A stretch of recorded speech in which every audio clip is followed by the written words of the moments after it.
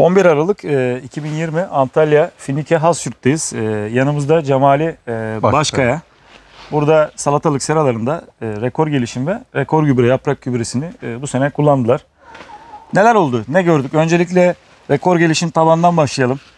Verdik. Verdik. Toprağımız nasıl durumu şu anda? Güzel. Suyun Yani su alması, falan iyi. nemi Güzel. koruması, Evet. tavlık durumu nasıl? Güzel.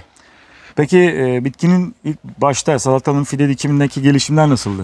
Gelişimler güzel. Gelişim iyiydi. İyi gitti. Şu ana kadar her şey iyi. Bunun çeşidi nedir? Cemre. Cemre. Ee, şimdi burada ilaveten sonrasında yaprak gübresi kullandık. Tabii. Kullandık. Kullandıktan sonra neler oldu? Ne gördük? Valla sarartmalar azaldı. Sarartmalar azaldı. Meyve Sarartma tutumu sorunu oluyor muydu burada? Oluyordu. Üst Oluyordu. taraflar böyle sarardı. Atardı. Bölge bölge tutardı. Şimdi baştan sona kadar devamlı meyvesi iyi tutalak gitti yani. Tutarak gitti. iyileştirme Şimdiye de kadar iyi. Şöyle gösterelim şuradan yandan da.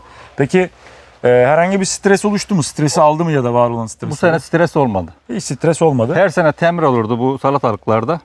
Salatalıkta temre dediniz. Böyle Üzerinde tabii hale, siz- hale gitti miydi atırırdı onlar. hala gitti. Böyle temre böyle bir bu biçimsiz sene, bir şey olurdu. Bu sene öyle bir şey olmadı. olmadı bu Bu sene, sene, olmadı. Peki verim anlamında nasıl? Bu sene? Verim de iyi bu sene. Yani bir ne kadar fark vardır?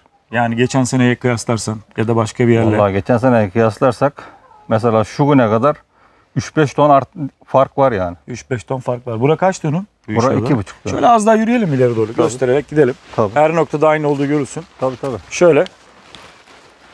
Salatalıkları gösterelim. Bu e, iç piyasa şey olarak gidiyor değil mi? İhracata gidiyor. İhracata giden Evet, bir ihracata çeşit gidiyor. şey olarak. iş piyasaya da gidiyor da bunu Peki nasıl gidiyor. beğeniyorlar mı?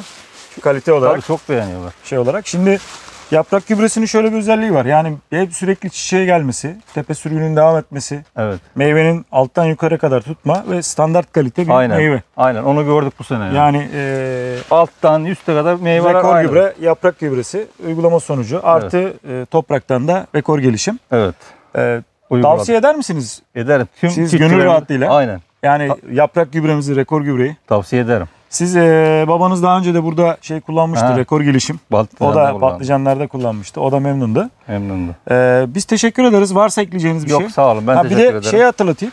Yani bu gübreleme programımızda bir de damlama ürünümüz var. Dekara 100 gram veriliyor.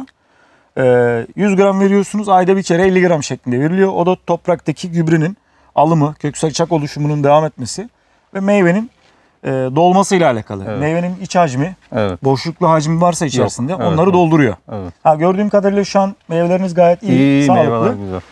Ee, onu da belirtmiş olalım. Evet. Ee, teşekkür ederiz. Biz teşekkür ederiz. Buradan bütün seracılara, Asyurt'a, evet, Nike'ye, herkese tavsiye ederiz bütün yani. seracılara